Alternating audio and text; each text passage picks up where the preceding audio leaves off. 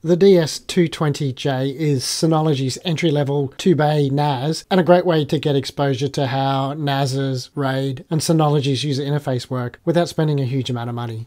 Let's start by taking a look at the hardware. The back of the unit features a small number of additional ports. There's two USB-A ports for plugging in USB drives for easy sharing and a single 1 gigabit Ethernet port. Installing hard drives in the unit is easy. You just remove two small screws from the back, then the cover slides forward and lifts up and off.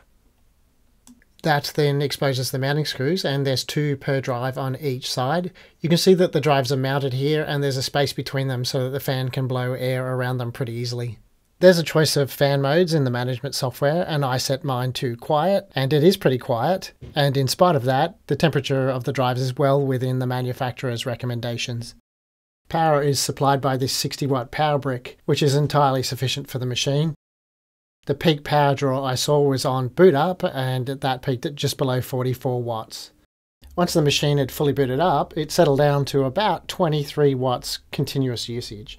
Now, if you pay about 30 cents a kilowatt hour, which is what I pay, then the total annual cost of running the machine is about $78 a year, which is a reasonably economical amount. To get a better understanding of its performance, it's a good idea to learn where the DS220J sits in comparison to the other two options in Synology's range for 2-bay NASs and what hardware they have. The DS220J is the cheapest of Synology's 2-bay NASs at $189 US from Amazon, but that's of course with no hard drives. And for reference, Synology sell two other two-bay NASs, and these are the DS223 at $249 and the DS220 Plus at $299.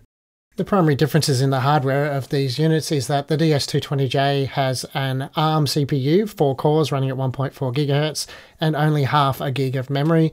The DS223 has an ARM CPU running at 1.7 GHz with 4 cores and has 2 gigs of memory.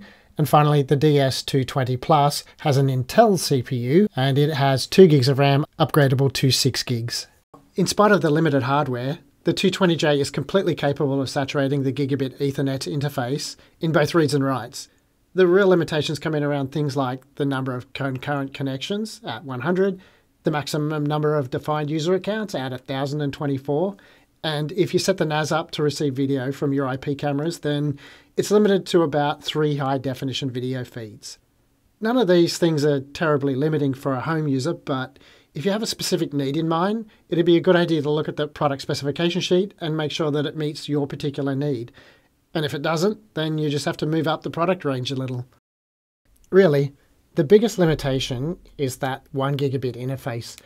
Currently, you could fit two 22 terabyte hard drives and stripe them together for 44 terabytes of capacity, and that means it would take four and a half days to copy off all of the data across that one gigabit interface. And that's something to consider if you ever have a need for urgent access to a large portion of your data.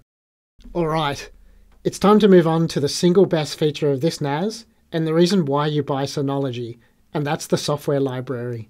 Even though the software range for this NAS is limited compared to other products in Synology's range because of the ARM CPU and limited hardware, it's still enormous it's hard to come up with a piece of software that you could want that's not here available for download for free at the click of a button. Let's sum it all up with some pros and cons. In the pros column, we've got the fact that it uses barely any power. It's a relatively quiet unit, very quiet. It has that incredible software library I just mentioned.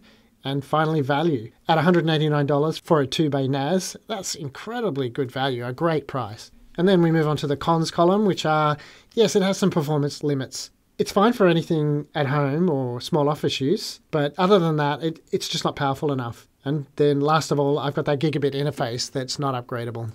That's it. If you enjoyed the video, you could actually really help me out by giving me a subscribe. I'd like to try and get to 1,000 subscribers, and you could help me make it happen.